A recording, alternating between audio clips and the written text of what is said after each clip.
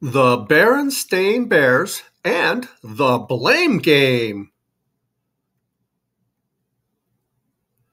When cubs are at play, it's always the same. Accidents happen. Who's to blame? You all know the bear family that lives in the big treehouse down a sunny dirt road deep in bear country. And of course, you know Mama Bear. Warm, friendly Mama Bear, from whom seldom is heard a discouraging word. But lately, Mama hadn't been all that friendly.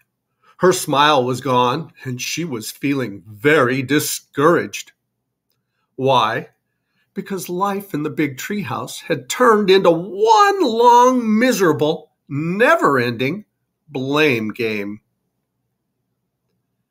He started it. No, she started it. He started it. No, she started it. It was her fault. No, it was his fault. Her fault. His fault.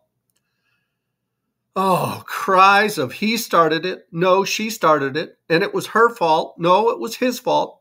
Filled the air from day to night life in the big treehouse had become one long argument about who started it and whose fault it was. And Mama had had quite enough of it. So when she heard the sounds of breaking glass and spilling water, she rushed into the living room. There she found a mess of broken glass and spilled water and a scatter of roses on the floor. Standing over the mess were brother and sister bear. they were pointing at each other and shouting, It was her fault. No, it was his fault. Over and over again. Mama looked at the mess. She had cut those roses and put them in a vase with water just that morning. She looked at brother and sister who were still pointing and shouting at each other. It was time to put a stop to the blame game. Mama decided to put her foot down hard. So hard, it shook the room. Enough of this blame game, she shouted. I want to know who really started it, and I want to know right now. Well, it was like peeling back the layers of an onion. It was enough to make you cry. Mama might have if she hadn't been so angry. And the more brother and sister pointed and shouted, the angrier Mama got. He knocked it over, cried sister. He made the mess. But that was only because she was trying to poke me in the ribs, shouted brother. I was not trying to poke him, protested sister. I was just trying to tickle him because he tickled me this morning. But that was because she tickled me last night. But that was because he put a rubber snake in my bed. But that was because she put a squeaky toy on my chair and it squeaked when I sat down. Squeak! But because, but because, but because, but because, but because, but. And so it went. But, but, but, because, because, because. Mama understood that she wasn't getting to the bottom of anything, but she was getting to the end of her patience. Her head was a whirl with buts becauses, rubber snakes, squeaky toys, broken glass, spilled water, and scattered roses. Enough! she shouted. Enough of what? asked Papa Bear. He'd been fixing up the downstairs bay window and heard the shouting. From what I've heard, he said, looking at the mess on the floor, there's more than enough blame to go around. So, instead of the blame game, why don't we just go to work and solve the problem? Let's deal with the broken glass for starters.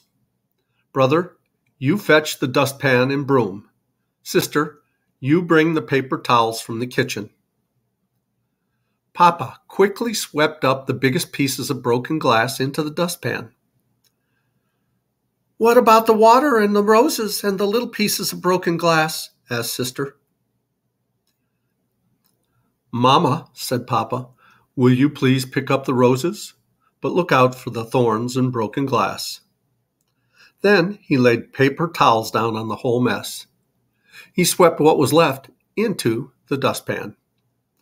Mama put the roses into another vase. Good for Papa. He had put a stop to the blame game.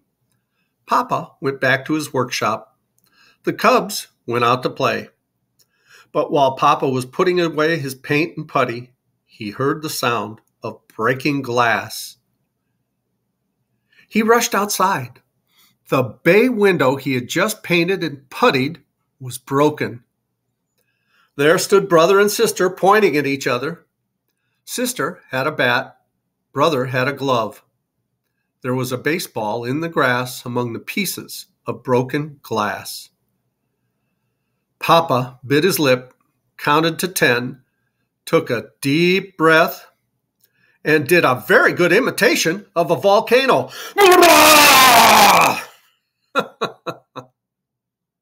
it was his fault. He's the one who wanted to play ball. He's the one who threw it. His fault, his fault, his fault. It was her fault. She's the one who hit it. Her fault, her fault, her fault. It seems to me, said Mamma, who had heard the crash, that instead of shouting and pointing fingers, we should get to work and solve the problem. And that's what they did. They picked up the glass and went to work. It took some doing, but after a while, the new window was painted and puttied as good as new. Of course, there are times, said Papa, when somebody really is to blame for something. But most of the time, it's important to remember there's usually enough blame to go around. Yeah, I always tried to encourage my kids to take responsibility. And let's fix the problem. of course, that was usually after I blew up and yelled at him. I love you guys. Thanks so much for watching. As Tigger says, ta ta for now.